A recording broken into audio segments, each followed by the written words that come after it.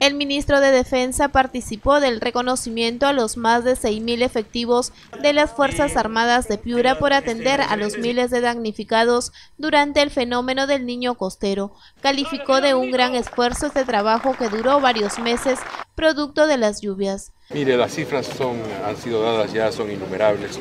Lo importante es que reaccionamos rápido, reaccionamos pronto, reaccionamos bien. Esto empezó, como ustedes saben, el 14 de enero en la quebrada de Santa Eulalia y tres horas después nuestros soldados estaban emplazados atendiendo a la población. Asimismo, dijo que las Fuerzas Armadas aún continúan trabajando en las zonas afectadas por los desastres de la naturaleza ocurridos a nivel nacional. Nos vamos a la ciudad de Ayabaca a fortalecer el trabajo nuestro ahí. Dentro del plan de reconstrucción afirmó que han solicitado presupuesto para el mejoramiento de locales en esta sede, señalando que formarán parte de la reconstrucción. Estamos pidiendo precisamente porque también hemos sido afectados, nuestros cuarteles han sido afectados, algunas viviendas han sido afectadas en distintas zonas del país, de modo que tienen...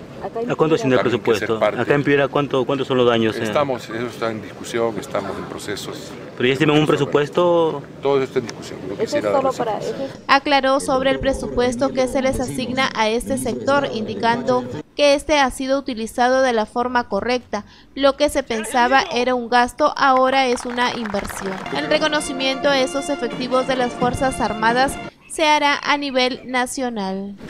Gracias, señor ministro.